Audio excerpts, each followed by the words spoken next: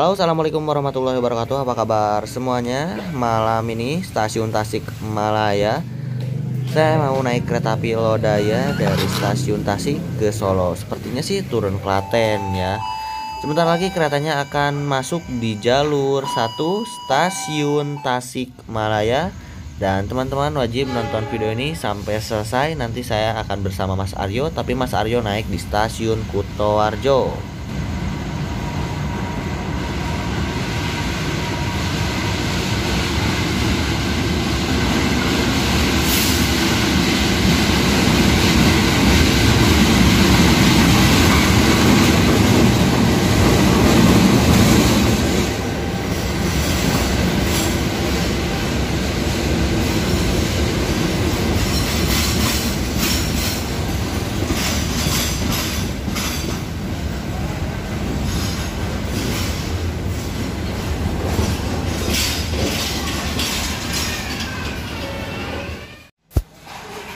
Oke kawan, kereta api Lodaya sudah ada di samping saya. Saya akan masuk ke dalam kereta api Lodaya kelas ekonomi premium.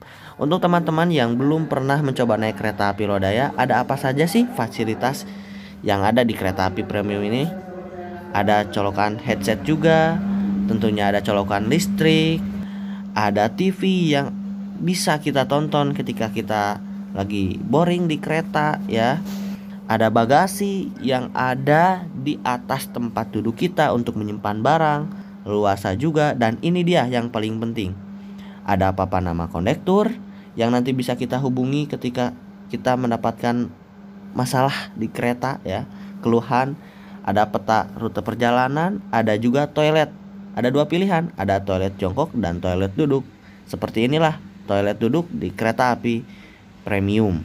Luar biasa kawan bersih sekali dan tentunya cocok.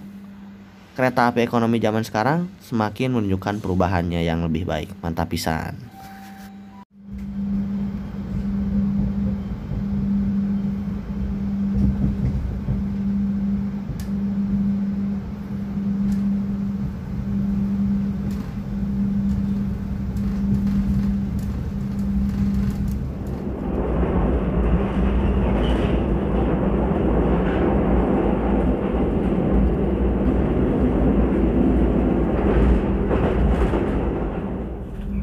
Kereta api Lodaya masuk stasiun Ciamis.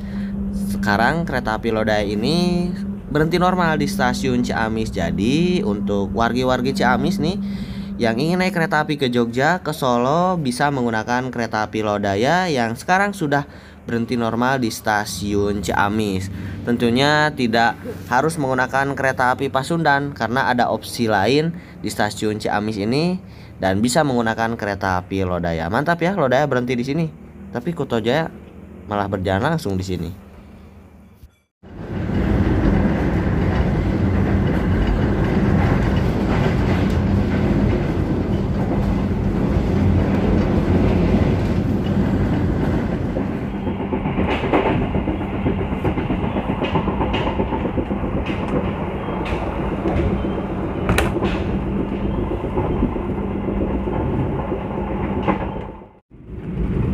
Oke kawan, kereta api Lodaya sudah berangkat stasiun Ciamis, persiapan masuk stasiun Bojong, terus stasiun Karangpucung dan juga nanti berhenti di stasiun Banjar. Nah, saya ingin istirahat dulu, ingin tidur dulu ya karena dari tadi siang saya belum istirahat, jadi lumayan juga pegel-pegel, capek-capek. E, nanti saya akan bangun lagi, entah di petak mana. Pokoknya tonton terus video naik kereta api saya ini sampai selesai.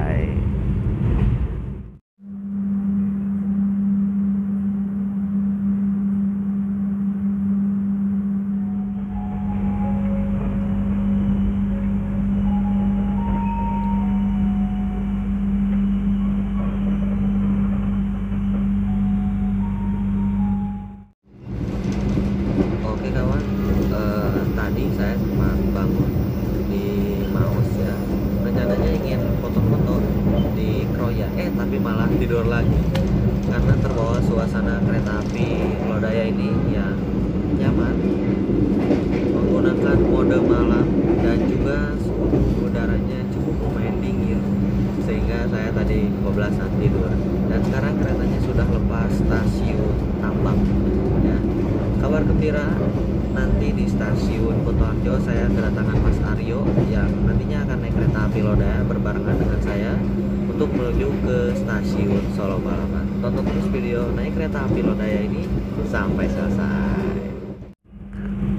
Memang kereta api jika menggunakan mode malam seperti ini membuat kita tertidur lelap ya. Jadi tadi saya ketiduran deh bablas. Sekarang keretanya persiapan masuk stasiun Gombong. Di Gombong keretanya berhenti normal.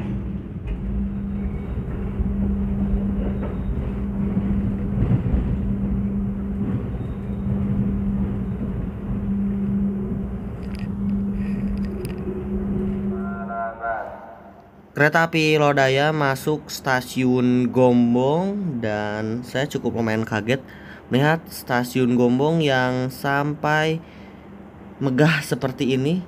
Bagus, besar. Ini bangunan stasiun Gombong baru, kalau yang di ujung sana stasiun Gombong lama. Sepertinya ini masih belum dioperasikan ya, tapi kalau saya lihat sudah bagus ini dan nantinya penumpang bisa naik turun kereta api di stasiun Gombong baru ini luar biasa ya stasiun-stasiun di Daop 5 sekarang stasiunnya bagus besar-besar kanopinya juga besar. Luar biasa mantap pisan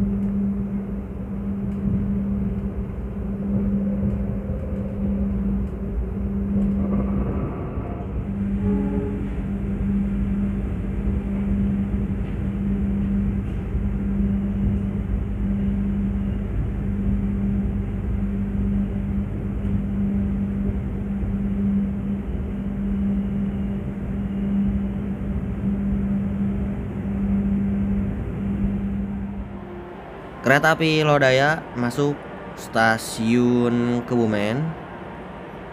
Tidak lama lagi kereta ini akan diberangkatkan kembali dari stasiun Kebumen menuju tujuan akhir stasiun Malang. Sama ya stasiun Kebumen seperti stasiun Gombong. Sudah tambah bagus, kanopinya juga super besar. Suasana kereta api Lodaya persiapan masuk stasiun Kutoarjo. Nanti di Kutoarjo tambah personil, ada Mas Aryo naik dari Kutoarjo ya. Sepi sekali di ekonomi premium 4. Lumayan kita bisa bebas pilih tempat duduk. Mungkin hanya beberapa orang saja yang menempati. Bisa dihitung jari 1 2 3 4 ya kurang dari 10 orang yang menempati premium 4. Luar biasa mantap pisan lur. Perjalanan Anda saat ini telah sampai di stasiun Kutarjo. Bagi Anda yang mengakhiri perjalanan di Kutarjo, kami persilakan Anda untuk turun, periksa dan teliti kembali barang-barang bawaan Anda, jangan sampai ada yang tertinggal. Oke kawan, uh, sudah berangkat stasiun Kutoarjo seperti apa yang tadi saya bilang kita kedatangan oleh sesepuh suhu Mas Aryo sama-sama akan ke Solo tapi saya turun Klaten nanti meninggalkan Mas Aryo sendirian suruh jadi gelandangan di Solo Mas Aryo gimana sehat? Sehat uh, nanti kalau launching katanya mau ke Garut nanti Mas Aryo ya. Siap, siap, siap. Libur kerja?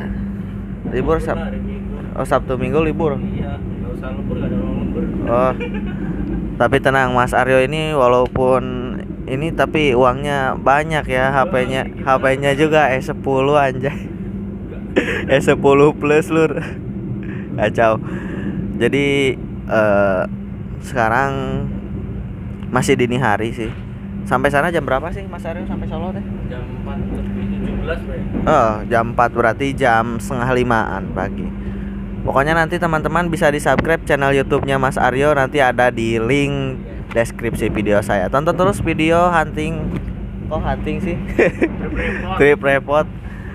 Naik kereta api Lodaya sampai nanti turun di stasiun Solo Balapan untuk Mas Aryo dan saya nanti turun di stasiun Klaten.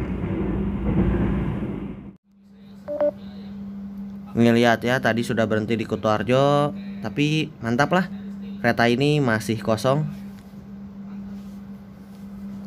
Di sana ada Mas Aryo yang sedang ngevlog juga nanti bisa ditonton ya video versi Mas Aryo menggunakan kereta api Lodaya. Dia naiknya dari Kutoarjo sampai Solo Balapan. Harganya murah sekali kawan, cuman Rp45.000 dari Kutoarjo menuju Solo Balapan.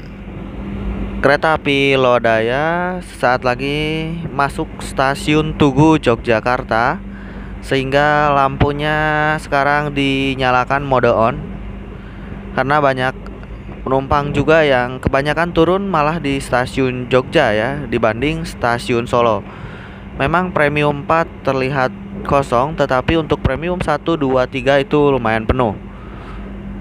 Nanti kita akan coba cek stasiun Jogja. Tidur boy? Ngantuk?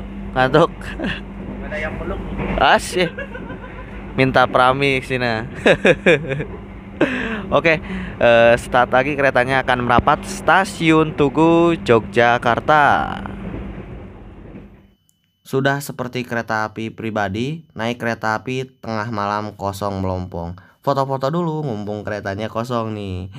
Mantap lah. Kalau berdesak-desakan bagus juga sih rame, tapi susah foto-foto. Sekarang keretanya sudah masuk di stasiun Tugu Yogyakarta. Biasanya saya suka turun di sini karena kalau ke Daop 6 pasti ke Jogja. Tapi sekarang tidak seperti itu. Saya akan melanjutkan perjalanan saya menuju stasiun Klaten. Nanti dari stasiun Klaten saya bertemu dengan teman saya sehingga makanya dari itu saya turun di Klaten. Tapi Mas Aryo turun di stasiun Solo Balapan.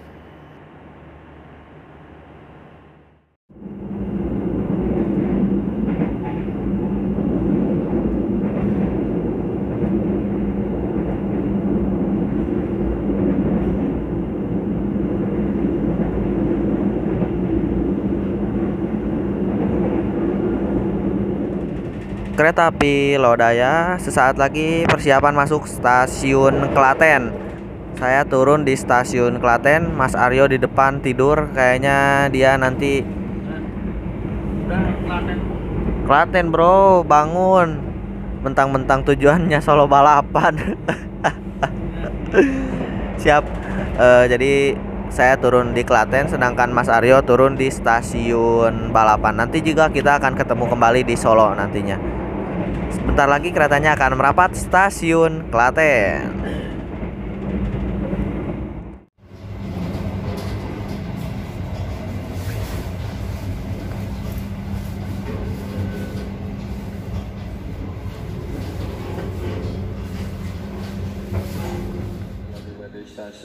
Alhamdulillah kereta api Lodaya sudah merapat di jalur 2 stasiun Klaten. Baru pertama kali saya turun di stasiun Klaten ini biasanya cuma lewat doang. Ternyata bagus juga stasiunnya. Terima kasih yang sudah nonton video saya. Kurang lebihnya mohon maaf. See you next time. Sampai jumpa kembali pada perjalanan naik kereta api berikutnya. Wassalamualaikum warahmatullahi wabarakatuh.